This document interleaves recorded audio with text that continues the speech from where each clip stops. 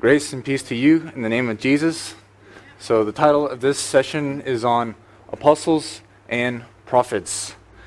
And so, we're going to be looking um, the way uh, di- different texts in the Bible of seeing how the ministry of apostles and prophets are working together. And so, in the life, in the body of Christ today, we um, there's very rec- very little recognition of the ministry of apostles and prophets, and really seeing the reality of, of them of those ministries working together. And even in my upbringing in in the church, um, in the evangelical church, there was we had pastors, there were some teachers, and a number of evangelists, but ministry of apostles and prophets aren't recognized. But we see in the Bible that that that the ministry of apostles and prophets are clearly recognized. But, you know, we say we are believers in Jesus and we see that this is in the Word of God. But where is it? Where, how are these ministries coming into the body of Christ? But we're going to see in this session that we're going to see how, why they are vital for us and why we need them. So, we're going to see that God has appointed an order of apostles and prophets to be in the church. Amen. So turn with me to 1 Corinthians chapter 12, verse 28. 1 Corinthians chapter 12, verse 28. And Paul says, And God has appointed these in the church first apostles, second prophets, third teachers, after that miracles, then gifts of healings, helps, administrations, varieties of tongues. Main thing that I want to bring out is that he says first apostles, second prophets. Why would that be? Why? Paul obviously had a revelation of why he knew the truth that God has appointed first apostles and second prophets to be ministries in the church. And so, if that is the case, there has to be clear uh, scriptural evidence for that to be true, to verify of what Paul is saying that God has appointed apostles and prophets to be established in the church. So we're going to see in the Bible how this is true. So we're going to see that the appoint- since apostles are first appointed in the church, we're going to see that they were first appointed. And so we first come to Luke chapter 6, verses 12 to 16. Luke chapter 6, verses 12 to 16. And Jesus appointed 12 apostles. Luke chapter 6, verse 12 to 16. Now it came to pass in those days that he went out to the mountain to pray, and continued all night in prayer to God. And when it was day, he called his disciples to himself and from them he chose 12 whom he also named apostles. And so, verses 14 to 16, we have the list of the 12 apostles out of the many disciples that Jesus had to be named as apostles. So, so the specific calling of an apostles was by name. God, uh, Jesus sought in the will of God by praying to know the will of the Father of which out of his disciples to be called as apostles. And so they were appointed by the Father. Amen. Amen. But in the process, um, in Jesus' life, Judas betrays Jesus to bring Jesus to be crucified in the will of God. And, and so Judas fell from his position uh, fell from, this, from, from his ministry as an apostle. But as you see in Revelations chapter 20, 22, or 21, verse, verse 14, we see that in the New Jerusalem that there were 12 apostles of the Lamb. Now the wall of the city had twelve foundations, and on them were the names of the twelve apostles of the Lamb. So there need, needed to be twelve apostles of the Lamb. And we see that the that position that Judas fell need to be replaced by somebody. And so let's go to Acts chapter 1, verses 15 to 26, we see of how of who replaced Judas. Um, I'll just quickly read through the passage. And in those days, Peter stood up in the midst of the disciples. Altogether, the number of, of the names was about a hundred and twenty, and said, Men and brethren, this scripture had to be fulfilled, which the Holy, spoke, Holy Spirit spoke before the mouth of David concerning Judas, who became a guide to those who arrested Jesus. For he was numbered with us and obtained a part in this ministry. Now this man purchased a field with the wages of iniquity, and falling headlong, he burst open in the middle, and all his entrails gushed out. and it became known to all those dwelling in Jerusalem. So that field is called, in their own language, Akel Dama, that is, field of blood. For it is written in the book of Psalms, Let his dwelling place be desolate, and let no one live in it, and let another take his office.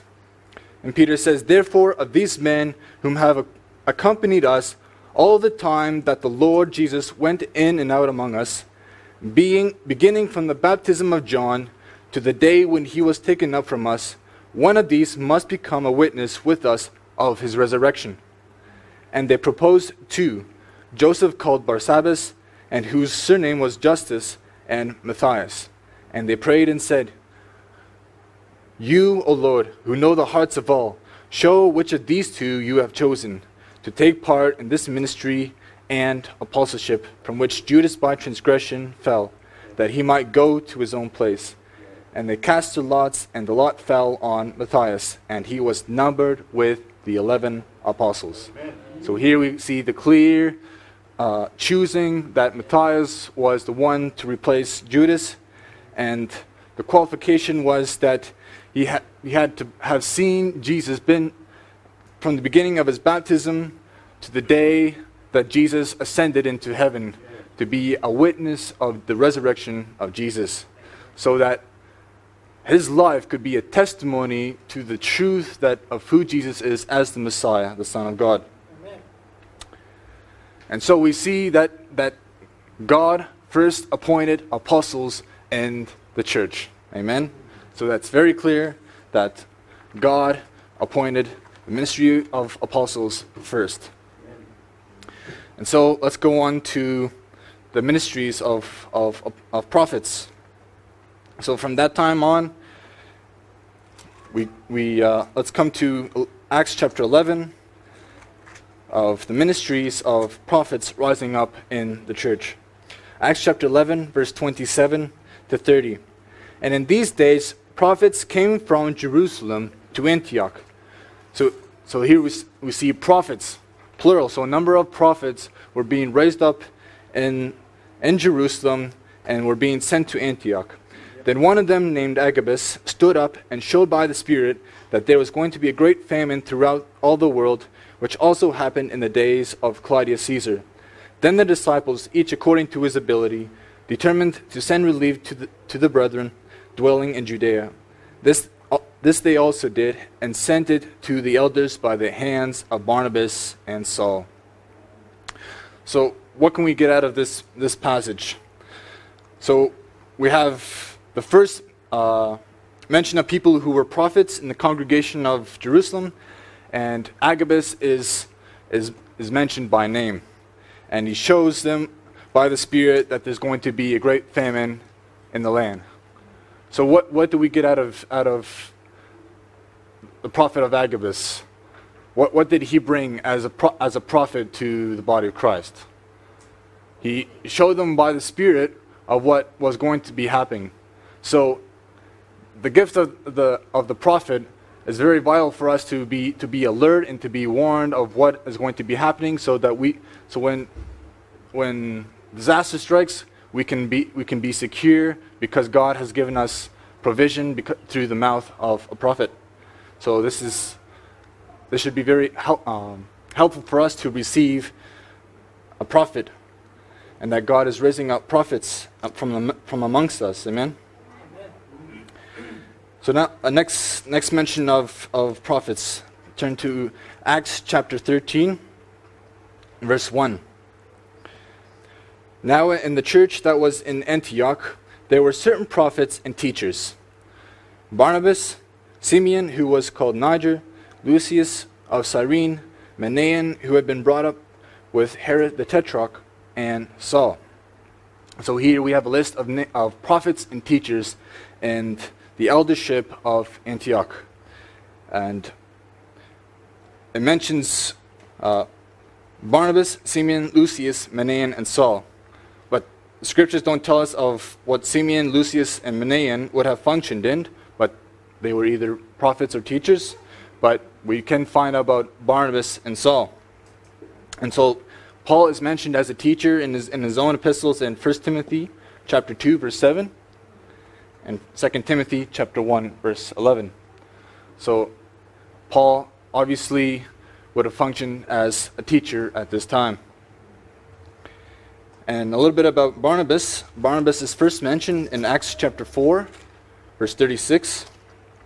And we can learn about what Barnabas would have functioned as. Acts chapter 4, verse 36. Uh, and Joseph, who was also named Barnabas by the apostles, which is translated son of encouragement, a Levite of the country of Cyprus. So Barnabas, Barnabas' real name was actually Joseph, but the apostles named, named Joseph as Barnabas, which means son of encouragement. And as we read in and in 1 Corinthians chapter 14, verse 3, that, that um, prophets, that prophecy brings encouragement and exhortation. 1 Corinthians chapter 4, verse 3. But he who prophesies speaks 14. 1 Corinthians chapter 14, verse 3. But he who prophesies speaks edification and exhortation and comfort to men. So we see that from Barnabas' life, the reason why he was called son of encouragement, because in the gift and the ministry that he was functioning was bringing comfort and exhortation to the brethren. And so that's very aware by the apostles that, that uh, this was his functioning as a prophet. And actually, if you translate the, the name Barnabas, it actually means son of a prophet. So that was a clear recognition, recognition of Barnabas functioning as a prophet.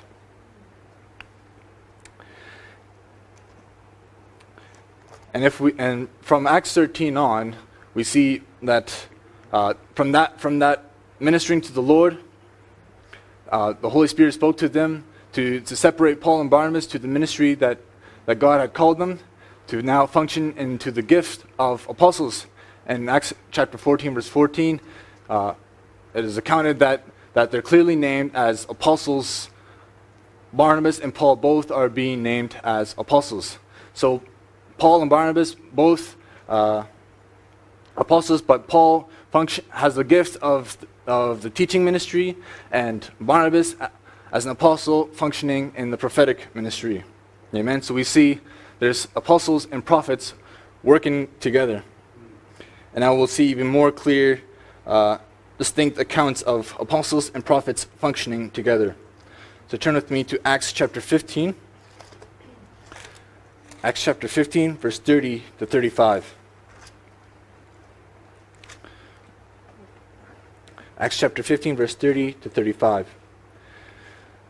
So when they were sent off, this is talking about Judas, Silas, Paul, and Silas, which I will get to in a moment. They came to Antioch, and when they had gathered the multitude together, they delivered the letter this letter that was, was given to them, which we can read in verse 23 to 29.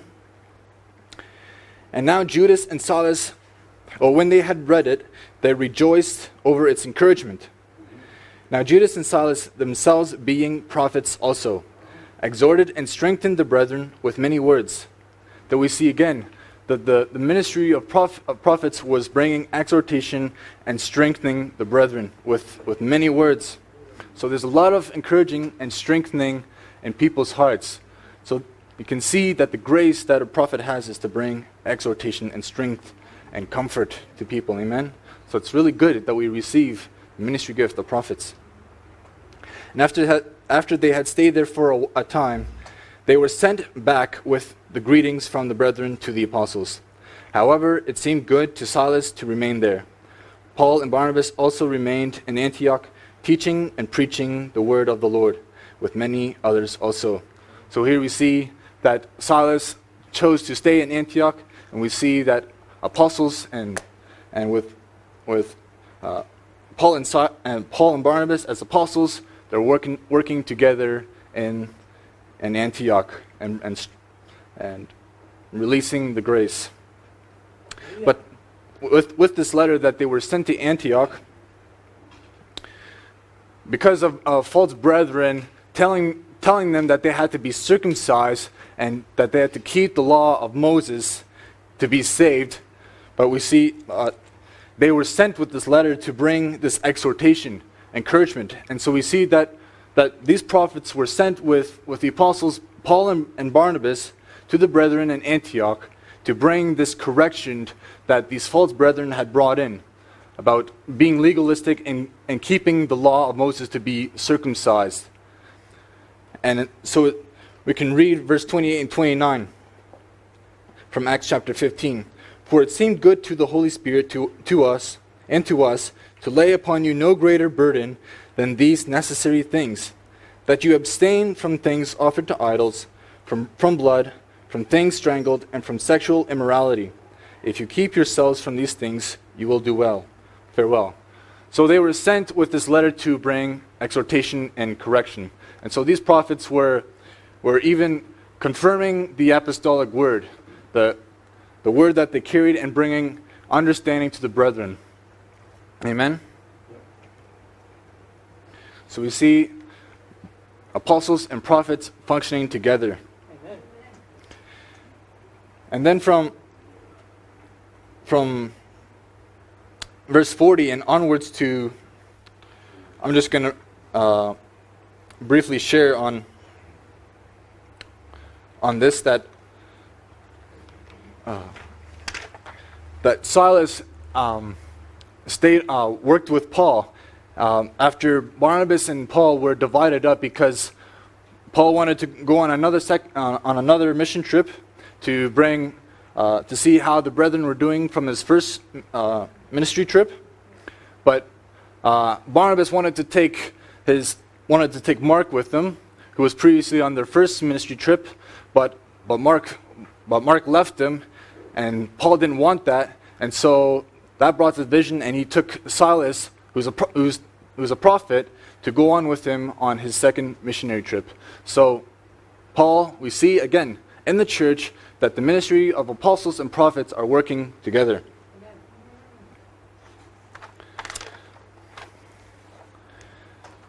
And just another account in Acts chapter 21, verse 18, verse 8 to 14. Acts chapter 21, verse 8 to 14.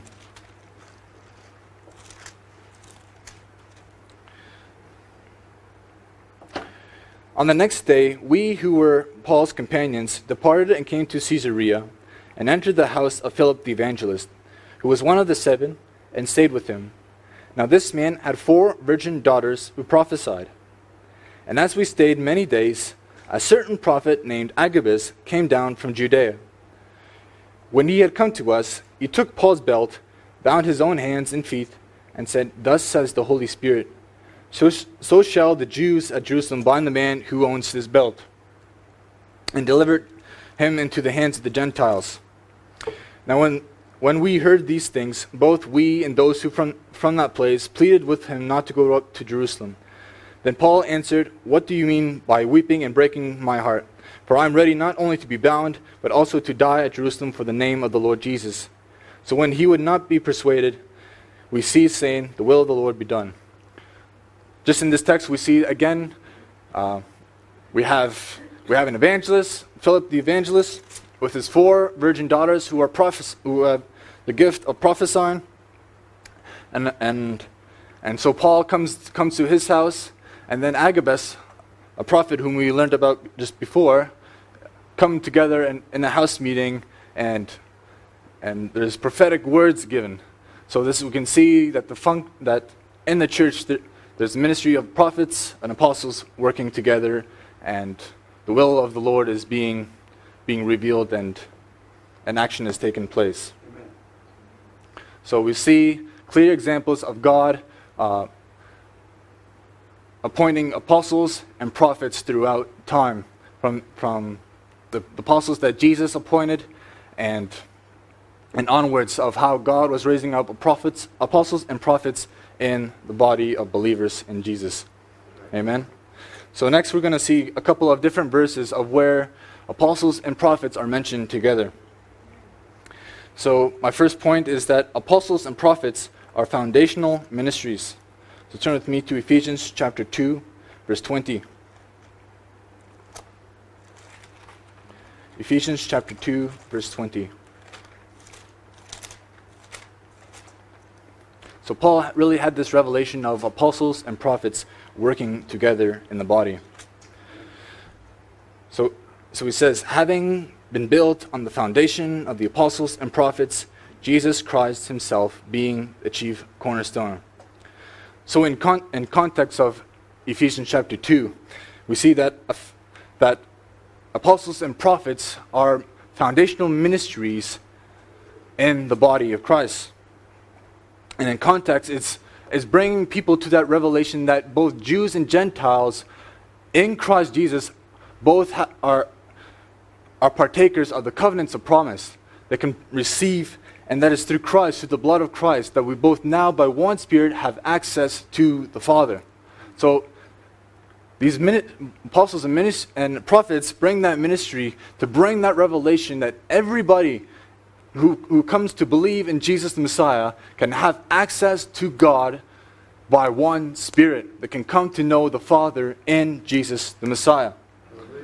So, and so they, they bring the revelation of Jesus, and so bringing us into that linking of Jesus as our chief cornerstone, or being fitted together into Him to be a being built in whom being the whole building being fitted together grows into a holy temple in the Lord, verse 21 and 22, and whom you also are being built together for a dwelling place of God in the Spirit.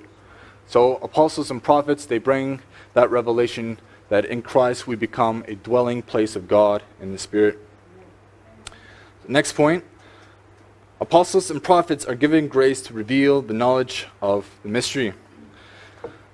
So we just read on from Ephesians chapter 3, verse 5.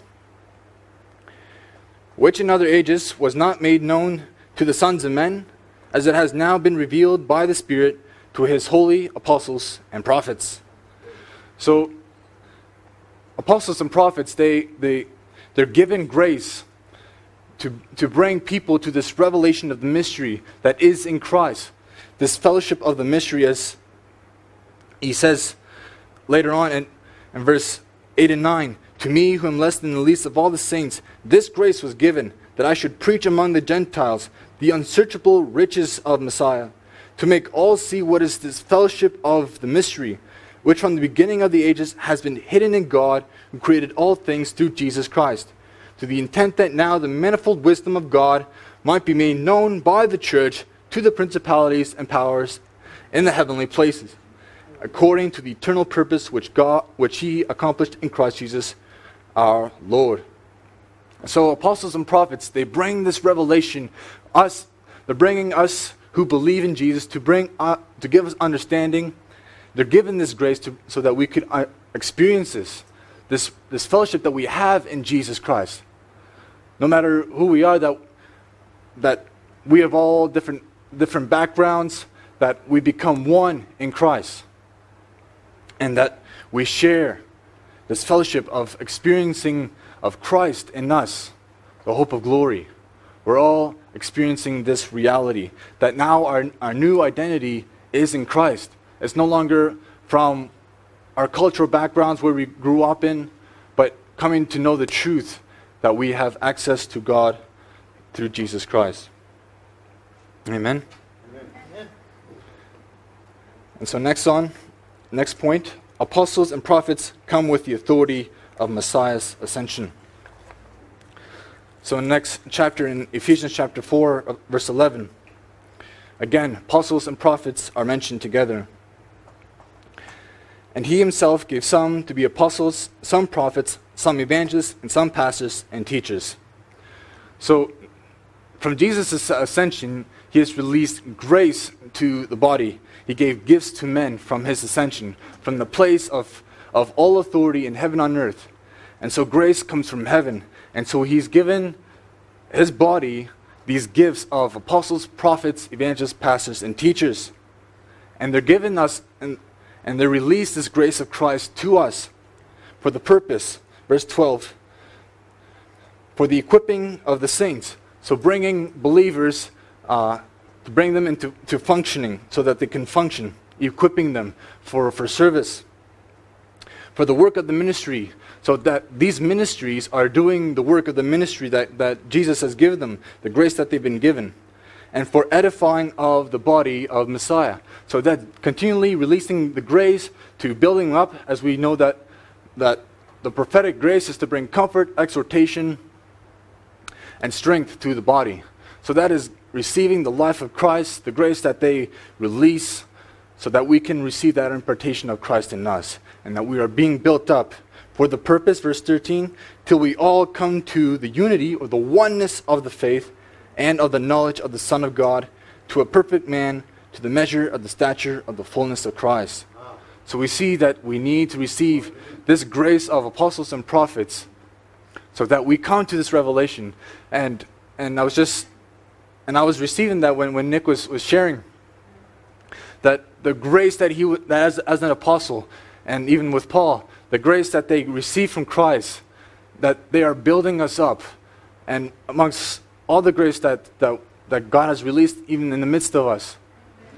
To be building us up and setting us at liberty and to bring clear revelation of everything that we have in Christ. Amen? Amen.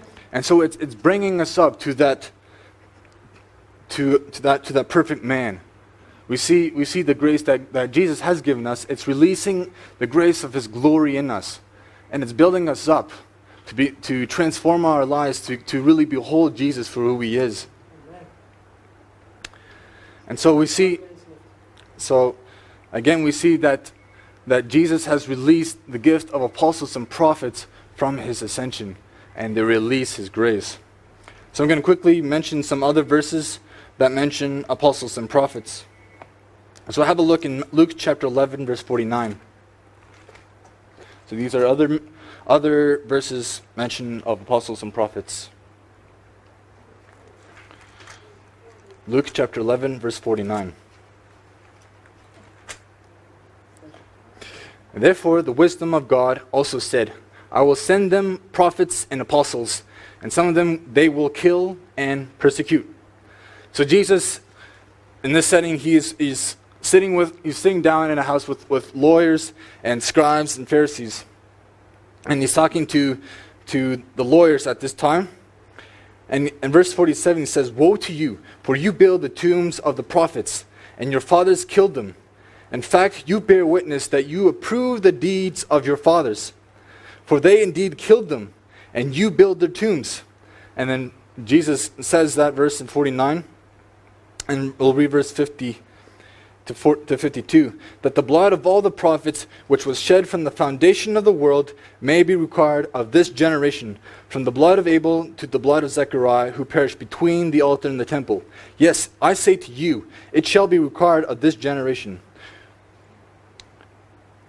Why am i saying this? Why, why did jesus say that he will send apostles and prophets whom they would kill? Because he's saying that that these these these lawyers they're saying that, that if we would have lived during the times of their forefathers who killed the prophets, they would have never done it. But, but because who were the prophets testifying of? They were testifying of Jesus coming.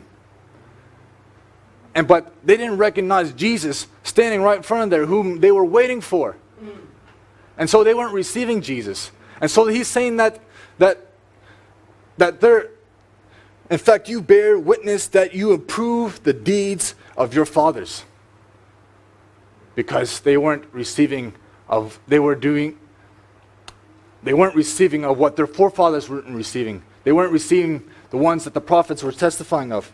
And so Jesus says that the wisdom of God also said, I will send them prophets and, pro- and apostles, and of them they will kill and persecute. Why? Because they still testify of who Jesus is. So the calling of apostles and prophets is not a ministry that we should be taken on lightly for our own personal means. It's a serious calling to really consider the, the burden that even the, the possibility of, of putting your life on the line to be killed and persecuted. So, so, but we need to receive because they will bring the revelation of Christ. Amen. Another verse, Revelation chapter 18, verse 20. Yeah.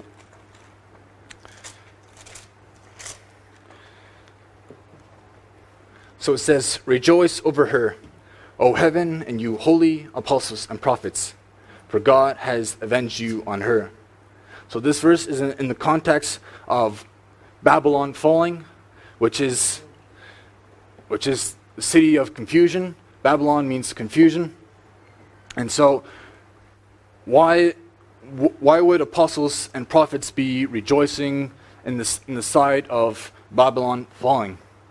Because God is avenging for them because apostles and prophets are come to testify the truth of who Jesus is. And so because they do not they didn't receive their word, God is bringing vengeance on the city of Babylon, about on the world system of keeping people in confusion of the truth. And so apostles and prophets they're, they're, they come to represent, to bring the revelation of Jesus the Messiah, because he is the truth. Jesus is the truth. And so, so yeah, apostles and prophets, we need, we can see that from, we can now see the reason that and necessity to receive God's holy apostles and prophets so that we can come to the full knowledge of who Jesus is as the Messiah. And so that our eyes, our, our spiritual eyes, are be unveiled to the truth of who Jesus is, of who he is as the Messiah, and to be encouraged and built up in him. And by the grace and equipping that the Holy Spirit wants to do in our lives, so that we can stand solidly in the faith and now know our place in the body of Messiah. God bless you.